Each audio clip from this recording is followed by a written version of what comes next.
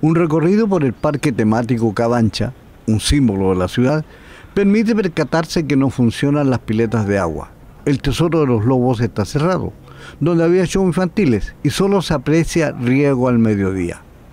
Quienes allí trabajan desde hace años nada saben de lo que ha pasado con los atractivos del lugar y menos lo que vendrá, salvo rumores de una remodelación. Hay cosas que se han visto que están un poquito alejadas de la mano de Dios, ¿ah? Pero la mayoría de las cosas están, bien, o sea, como me dice usted, el área verde, los asientos, los, arbolitos, está todo bien, o sea, pero hay, hay cosas que, bueno, manteniendo un orden cotidiano, siempre se mejoran las cosas. Los comerciantes con muchos años en el sitio han visto como el lugar ha perdido atractivo. En este momento absolutamente nada. No sabemos, no han dicho absolutamente nada, no los han informado.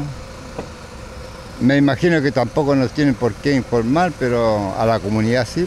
Eh, no deberían estar así, pues no, el alcalde debería ocuparse más de eso, no queda mal para los turistas que vienen acá. Como este año vino un montón de turistas, harto turista, y se dijo que iba a funcionar los lobos con cine, pero nunca llegó a funcionar. Ah, como cine. Sí, y nunca llegó a funcionar. Preguntaban mucho a los turistas. Y ahí están los lobitos que hacían show antiguamente el año pasado para que los niños entraran. Ahora ninguno de eso ha funcionado, ni lo ha funcionado la pileta todas esas cosas. Aquí este año fue, no fue muy bueno. Lo que sí está funcionando es el stand de información turística. principalmente lo que solicitan son eh, mapas y conocer los principales puntos turísticos de la región.